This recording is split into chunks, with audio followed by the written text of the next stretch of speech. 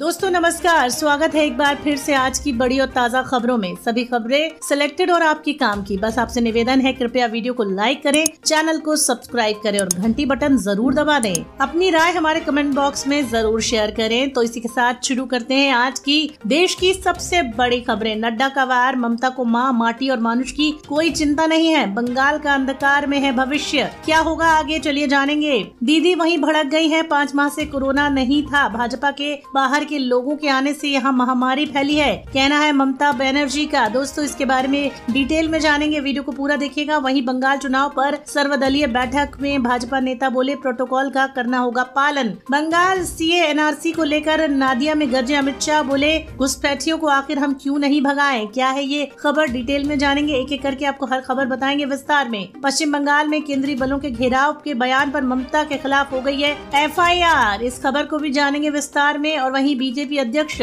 दिलीप घोष के चुनाव प्रचार पर इलेक्शन कमीशन ने लगाया है 24 घंटे का बैन। क्या है पूरा मामला जानेंगे और वहीं अमित शाह का राहुल गांधी पर पलटवार। खट्टर ने किसानों से अपील की, बोले मानवता के आधार पर वापस ले ले आंदोलन। दोस्तों आंदोलन वापस होगा या नहीं होगा, कोरोना का क्या है हमारे देश में व्यवहार, क्या है कहर, सब कुछ जानेंगे विस्तार से। तो चलिए, आज की पहली बड़ी खबर शुरू करते हैं। ममता बनर्जी पर नड्डा ने किया है वार। ममता को माँ, माटी मानुष की चिंता नहीं है। बंगाल के भविष्य को अंधकार में डाल दिया है ममता बनर्जी ने। ये कहना है नड्डा का। क्या है पूरा मामला? चलिए जानते हैं। भाजपा के राष्ट्रीय अध्यक्ष नड्डा ने पश्चिम बंगाल के पानागढ़ की चुनाव रैली में कहा कि ममता बनर्जी को बंगाल की कोई चिंता नहीं है। उन्होंने बंगाल के भविष्य को अंधकार में डाल दिया है। शनिवार को पाँचवें चरण के लिए वोटिंग होने वाली है। पश्चिम बंगाल में पैंतालीस सीटों पर चुनाव होना है। बता दें, इस चरण में सबसे ज़्यादा सीटों पर चुनाव हो रहा है। और वहीं ममता बनर्जी का कहना ये है कि भाजपा को एक भी सीट यहाँ नहीं मिलने वाली है। ऐसे में बंगाल चुनाव के अंतिम चरणों का प्रचार तेज है और शनिवार को ये प्रचार चल रहा था।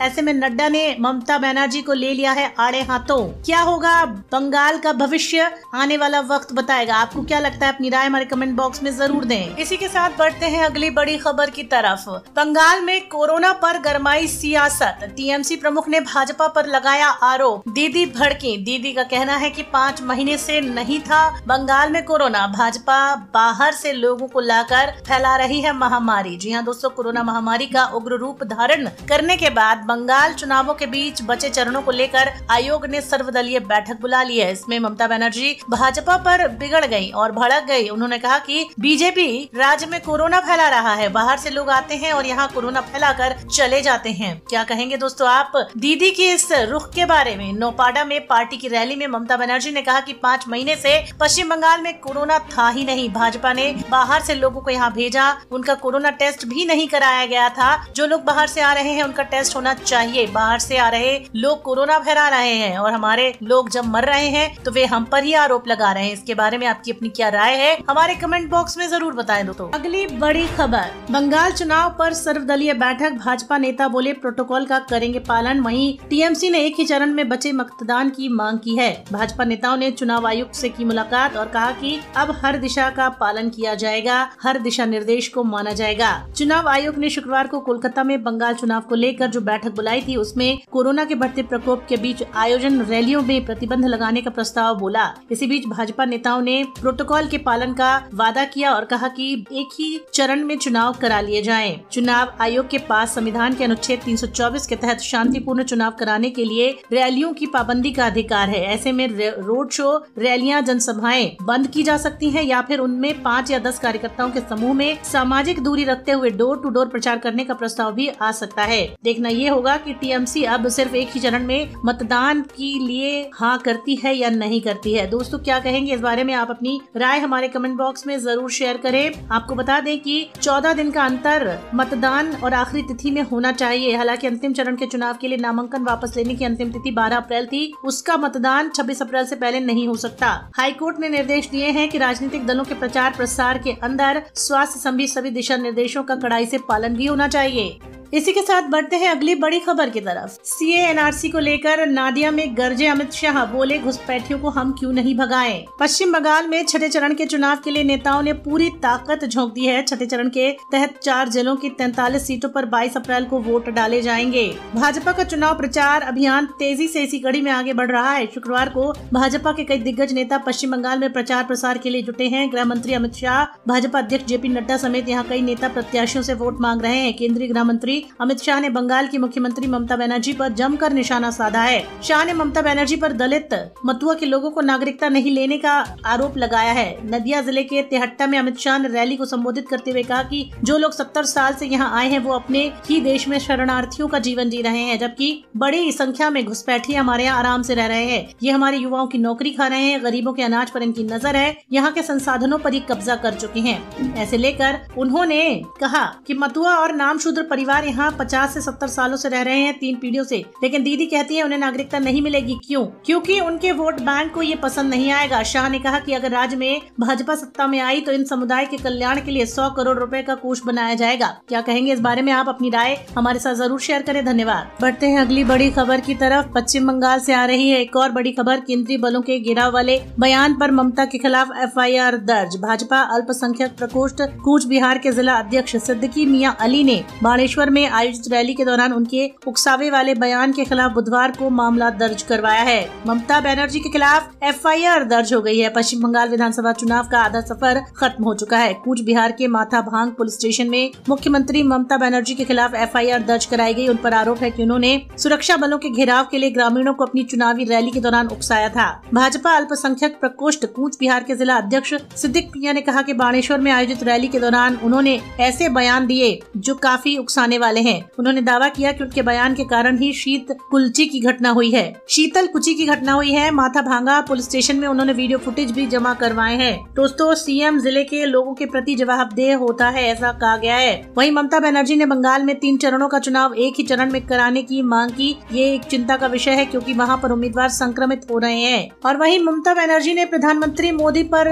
निशाना साधा, उन पर इल्ज़ाम लगाया कि पीएम केयर फंड में कितना पैसा आता है, ये किसी को पता नहीं लगता। अगर कोई राज्य पैसों की मांग करता है तो उसे नहीं दिया जाता। पीएम केयर्स के पैसे वैक्सीन के इस्तेमाल के लिए, खरीदी के लिए क्यों नहीं इस्तेमाल किए जा रहे हैं? ऐसा कहना है ममता बनर्जी का। लेकिन बता दें आपको कि ममता बनर्जी पर एफआईआर दर्ज हो चुकी है। क्या कहेंगे आप अपनी राय इस बारे में? हमारे कमेंट बॉक्स में ज़रूर शेयर करें। करते हैं अगली बड़ी खबर की तरफ़। अमित शाह का राहुल गांधी पर पलटवार। उन्होंने कहा कि बीजेपी के डीएनए का मतलब डेवलपमेंट, नेशनलिज्म और आत्मनिर्भर होना है। पश्चिम बंगाल के नदिया ज़िले के तेहत्ता में चुनावी सभा को आयोजित करते हुए, संबोधित करते हुए केंद्रीय गृह मंत्री अमित शाह ने सत्तारूढ़ तृणमूल कांग्रेस के अलावा वाम दल और कांग्रेस पर जमकर निशाना साधा है। पश्चिम बंगाल में जारी विधानसभा चुनाव के छठे चरण के चुनाव के लिए सभी पार्टियों ने प्रचार शुरू कर दिए हैं। केंद्रीय गृह मंत्री अमित शाह ने शुक्रवार को नदिया ज़िले के तिहत्ता में कांग्रेस पर जमकर निशाना साधा। दो मई को सोनार बंगला के नए युग में होगा प्रवेश। उन्होंने कहा कि मैं आज बंगाल के नए वर्ष की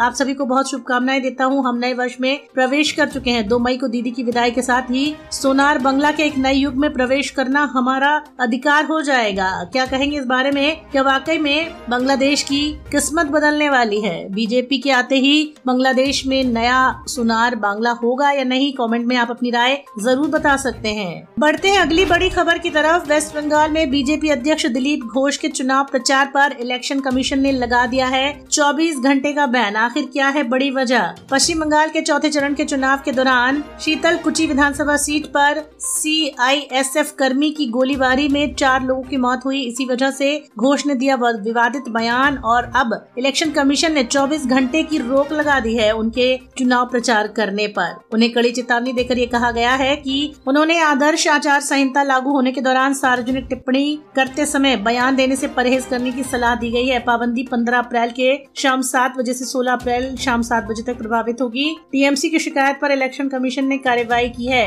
तो दोस्तों, क्या कहेंगे इस बड़ी खबर के बारे में? आप अपनी राय हमारे साथ ज़रूर बांटे। के साथ बढ़ते हैं अगली बड़ी खबर की तरफ़। बंगाल चुनाव जानी आखिरी तीन राउंड एक साथ कराने पर आयोग क्या बोली? पश्चिम बंगाल के चुनाव में कोरोना संकट को देखते हुए आखिरी तीन राउंड का मतदान एक ही साथ कराने के सुझाव का बीजेपी ने विरोध किया है। चुनाव आयोग की ओर से मतदान और प्रचार के दौरान कोविड प्रोटोकॉल के पालन को लेकर बुलाई गई सर्वदलीय बैठक में बीजेपी ने राय दी और बीजेपी ने कहा इससे मतदाताओं और चुनाव में लड़ने वाले प्रत्याशियों को नुकसान होगा। दास गुप्ता ने कहा कि पार्टी यह नहीं चाहती कि लोकतांत्रिक मूल्यों और उसकी भावना को कोई चोट पहुँचे। उन्होंने कहा कि हम प्रोटोकॉल का पूरी सख्ती से पालन करेंगे और हम भी, हमारे लोग भी इसी तरह के पालन करेंगे। हमारी अपील है कोई ऐसा कदम न उठाया जाए जो मतदाताओं का भेदभाव करता है। जहाँ वोटिंग बाकी है, जिन जगहों पर मतदान हो चुका है और जहाँ होना है, वहाँ सभी तरह में एक ही तरह के नियमों का पालन होना चाहिए। कोरोना के लगातार बढ़ते मामलों को लेकर सवाल पूछे जाने पर दास गुप्ता ने कहा कि प्रचार अभियान नहीं रोका जा सकता। तो दोस्तों, कोरोना के इस बढ़ते हुए मौके पर आपका क्या कहना है? आप अपनी राय हमारे कमेंट बॉक्स में ज़रूर शेयर करें और वीडियो को पूरा देखिएगा लाइक कीजिएगा अपनी राय और कमेंट हमारे कमेंट सेक्शन में ज़रूर दीजिएगा। साथ बढ़ते हैं अगली बड़ी खबर की तरफ़। खट्टर की किसानों से अपील, बोले, मानवता के आधार पर वापस लेने आंदोलन। हरियाणा के मुख्यमंत्री मनोहर लाल खट्टर ने केंद्र के नए कृषि कानूनों के खिलाफ विरोध प्रदर्शन कर रहे किसानों से कोविड 19 के बढ़ते मामलों के मद्देनजर मानवता के आधार पर आंदोलन वापस लेने की अपील की है। मुख्यमंत्री ने यह अपील ऐसे समय की जब राज्य सरकार ने संक्रमण के प्रसार को रोकने के लिए बंद स्थानों और खुले स्थानों पर आयोजित होने वाले कार्यक्रमों में लोगों की संख्या को घटा दिया है। ये पचास और दो सौ ही निर्धारित है। इससे पहले राज्य सरकार ने खुले स्थानों में आयोजित होने वाले कार्यक्रम में 500 लोगों के और बंद स्थान में 200 लोगों के शामिल होने की अनुमति दे दी थी, लेकिन कोविड के बढ़ते मामलों की वजह से एक बार स्थिति फिर से चिंताजनक हो गई है। रोज़ाना कोरोना के बढ़ते हुए मामले को देखते हुए ये बयान दिया गया है। कोविड नाइन्टीन से जीवन को खतरा हो सकता है। ये बैठक में कहा गया है। मुख्यमंत्री ने कहा कि किसानों को अपना आंदोलन मानवता के आधार पर वापस ले लेना चाहिए। साथ ही स्थिति में सुधार होने के बाद वे अपना प्रदर्शन जारी रख सकते हैं। हरियाणा की सीमाओं पर किसानों का इतना बड़ा जमावड़ा लगा हुआ है। हरियाणा के गृह मंत्री अनिल विज का कहना था, ये चिंता का विषय है। वही केंद्रीय मंत्री नरेंद्र सिंह तोमर को पत्र लिखने वाले हैं। उन्होंने कहा, किसानों से बातचीत की जाए ताकि उन्हें यहाँ से हटाया जा सके, ताकि उनके स्वास्थ्य पर कोई कोरोना का संक्रमण न छा जाए, क्योंकि वे सब वहाँ पर खुले में बैठे हुए हैं। दोस्तों क्या कहेंगे आप? अपनी राय हमारे कमेंट बॉक्स में ज़रूर शेयर करें। रणदीप सुरजेवाला के बाद अब दिग्विजय सिंह को भी हुआ कोरोना। कांग्रेस नेता ने ट्वीट करके दी है जानकारी। कोरोना वायरस अब पूरे देश में तेज़ी से पाँव पसार चुका है। आम से लेकर खास व्यक्ति तक को कोरोना अपनी चपेट में ले चुका है। अब कांग्रेस के नेता दिग्विजय सिंह का भी नाम सामने आया है। वे भी कोरोना पॉजिटिव पाए गए हैं। दिग्विजय सिंह ने ट्वीट करके जानकारी दी। वह दिल्ली के आवास पर क्वारंटाइन है। वहीं कांग्रेस के नेता रणदीप सिंह सुरजेवाला भी कोरोना पॉजिटिव पाए गए। उन्होंने ट्वीट करके जानकारी दी कि मेरी कोविड जाँच पॉजिटिव आई है। फ़िलहाल मैं दिल्ली में अपने निवास पर हूँ। ये जानकारी ट्वीट करके दिग्विजय ने दी है। उन्होंने कहा कि इस दौरान जो भी लोग मेरे संपर्क में आए हैं, वो खुद को आइसोलेशन में ले जाएँ और और अपनी रिपोर्ट ज़रूर करवा लें। क्या पता वे भी कोरोना पॉजिटिव निकले। वहीं सुरजेवाला ने लिखा कि आज सुबह मैं कोरोना पॉजिटिव आया हूँ। बीते पाँच दिनों में जो भी मेरे संपर्क में आया है, खुद को आइसोलेट कर ले और रणदीप सुरजेवाला को राहुल गांधी के करीबी नेताओं में शुमार किया जाता है। दोस्तों बड़े बड़े लोग भी अब कोरोना पॉजिटिव पाए जा रहे हैं। ऐसे में आप भी अपनी सुरक्षा की ज़िम्मेदारी खुद रखिए। चेहरे पे मास्क लगाइए, हाथों को सैनिटाइजर करिए, घर में रहिए, लोगों से दूरी बनाकर रखिए। अब बढ़ते अगली बड़ी खबर की तरफ़। तुगल की लॉकडाउन लगाओ, घंटी बजाओ और राहुल गांधी ने केंद्र की कोविड रणनीति पर तंज कसा। दोस्तों, आप जानते हैं कि कोरोना वायरस का कहर दिन प्रतिदिन आगे बढ़ता चला जा रहा है। देश में आज लगातार दूसरे दिन कोरोना वायरस के दो लाख ऐसी अधिक नए केस सामने आए हैं। सैतीस दिनों में कोरोना संक्रमण के बढ़ने का सिलसिला जारी है, जिस रफ्तार से कोरोना वायरस के मामले बढ़ रहे हैं, उसे देखकर सरकार भी चिंता में है। कोरोना के खिलाफ जंग में सरकार की क्या रणनीति है, इस पर राहुल गांधी ने ट्वीट कर केंद्र सरकार की कोरोना रणनीति पर तंज कसा, कहा कि केंद्र सरकार की तीन रणनीति है। पहला, तुगलक की लॉकडाउन लगाओ। दूसरा, घंटी बजाओ। तीसरा, प्रभु के गुण गाओ। राहुल गांधी ने कोरोना निपटने के लिए बताया कि कोविड की रणनीति केंद्र सरकार की क्या है। दोस्तों, राहुल गांधी तंज मारने में नंबर वन है। दोस्तों, ये बात जग ज़ाहिर है कि राहुल गांधी तंज मारने में नंबर वन है। वो पहले भी आरोप और निशाना साध चुके हैं। उन्होंने कहा था ट्वीट करके, न टेस्ट, न अस्पताल में बेड, न वेंटिलेटर, न ऑक्सीजन। टीका भी नहीं है, बस उत्सव का एक ढोंग है पीएम केयर्स और क्वेश्चन मार्क दोस्तों को बता दें, एक दिन में दो लाख से ज़्यादा नए केस सामने आए, जिसमें ग्यारह लोगों की मौत की खबर सामने आई है। दोस्तों, कोरोना से जंग के लिए हमें खुद ही सामने आना होगा। सफ़ाई का ध्यान रखें सैनिटाइज करते रहें खुद को। बढ़ते हैं अगली बड़ी खबर की तरफ़। बीजेपी बंगाल में बाकी चरणों के चुनाव एक साथ कराने के पक्ष में नहीं, चुनाव आयोग को दी है ये दलील। बंगाल में कोरोना के मामले लगातार बढ़ रहे हैं। रोज़ाना की संख्या 6000 के करीब पहुँच गई है। कोलकाता हाईकोर्ट ने बंगाल के चुनावी रैलियों के सोशल डिस्टेंसिंग मास्क न पहनने और कोरोना के मानकों की उठती धज्जियाँ उड़ाने पर गहरी नाराज़गी जताई है। पश्चिम बंगाल में चुनाव के कार्यक्रम किस तरह कराए जाने हैं, इस पर भी बात होनी है। बीजेपी का कहना है की अब तक चुनाव में इकसठ प्रतिशत उम्मीदवारों को जो अधिकार मिला है, बाकी उनतालीस प्रतिशतों को भी वही अधिकार मिलना चाहिए। सबको बराबरी के अधिकार मिलने चाहिए। हाल ही में कई राज्यों व नगर में निगम के चुनाव हुए और कोविड के बढ़ते मामलों और लोकतांत्रिक प्रक्रिया में कोई संबंध नहीं मिला। बीजेपी आश्वस्त करती है कि कोविड के सभी नियमों का पालन किया जाएगा, लेकिन वहीं ममता बनर्जी ने बीजेपी पर लगाया है इल्ज़ाम। उनका कहना यह है कि लोग यहाँ बाहर से आते हैं और फैला जाते हैं कोरोना, क्योंकि वे कोई टेस्ट कराकर नहीं आते हैं। दोस्तों, इस बारे में आपकी क्या राय है? आप क्या कहना चाहेंगे? कॉमेंट करके ज़रूर बताए। इसी के साथ बढ़ते हैं अगली बड़ी खबर की तरफ़। पूरे यूपी में हर रविवार को लॉकडाउन रहेगा। मास्क न लगाने पर दस हज़ार रूपए का जुर्माना भी देना पड़ेगा। राज्य में कोरोना के बढ़ते मामलों को देखते हुए राज्य की योगी सरकार ने सख्त कदम उठाने का फैसला लिया। रविवार को लॉकडाउन के फैसले के अलावा मास्क को लेकर सख्त फैसला किया गया है। उत्तर प्रदेश में अब हर रविवार को पूर्ण लॉकडाउन रहेगा। राज्य में कोरोना के बढ़ते नियमों और मामलों को देखते हुए योगी सरकार काफ़ी सख्त हो गई है। उन्होंने कहा कि अगर अब आप मास्क लगाए बिना दिखाई देते हैं तो एक हज़ार रूपए का जुर्माना है। अगर आप दूसरी बार भी बिना मास्क के पकड़े जाते हैं तो दस हज़ार रूपए का जुर्माना देना होगा। यूपी सरकार ने हर रविवार को राज्य में पूरी तरह बंद के आदेश दिए हैं। साप्ताहिक बंदी का नाम इसे दिया गया है। गुरुवार को अभी कुछ ही राज्यों में घोषणा हुई है। वहीं सारे स्कूल पंद्रह मई तक बंद रहेंगे। यूपी बोर्ड की परीक्षाएँ टाल दी गई हैं। गुरुवार को ही राज्य में महामारी की शुरुआत के बाद से एक दिन में सबसे ज़्यादा मामले सामने दर्ज किए गए थे, जो कि बाईस थे। इस अवधि में 104 लोगों की मौत हुई। इस मामले में बड़ी संख्या में लगातार वृद्धि हो रही है। क्या कहेंगे अपनी राय हमारे साथ? कमेंट में शेयर करें और अपनी राय भी दें। साथ ही दोस्तों, वीडियो पसंद आए तो लाइक कर दें। अगली बड़ी खबर की तरफ़। चुनाव प्रचार पर रोक लगने के बाद बीजेपी के दिलीप घोष का ममता बनर्जी पर तंज, कहा, धरना नहीं दूँगा। पश्चिम बंगाल में निर्वाचन आयोग द्वारा बीजेपी के दिलीप घोष पर 24 घंटे के लिए बैन लगाया गया है। चुनाव प्रचार नहीं कर सकते। उनके निर्णय का वो सख्ती से पालन करेंगे। ममता बनर्जी की तरह, मैं धरना नहीं दूँगा ये कहना है उनका। उन्होंने कहा है कि 24 घंटे के लिए जो रोक लगाई गई है, मैं उसका पूरी तरह सख्ती से पालन करूँगा। किसी भी तरह का धरना देने का मेरा विचार नहीं है। मैं चुनाव आयोग के आदेश का पालन करूँगा। ममता बनर्जी की तरह सड़कों पर बैठकर कोई भी धरना नहीं देने वाला। चौबीस घंटे की पाबंदी उन पर लगाई गई है, क्योंकि कई जगहों पर शीतल कुची जैसी घटनाएँ होती रहेंगी। इस बारे में उन्होंने कहा था। इसी वजह से उन पर लगा दिया गया है। बैन, इस दौरान वे घर पर रहेंगे, आराम करेंगे, कहना है उनका। उन्होंने कहा कि मैं घर पर रहूँगा, खाऊँगा और एक दिन आराम करूँगा। दोस्तों, हमारी आज की ये वीडियो आपको कैसी लगी, जिसमें हमने आपको सारे लेटेस्ट अपडेट बताए। दोस्तों, हमारे वीडियोस को लाइक करते रहिए शेयर करते रहिए। धन्यवाद।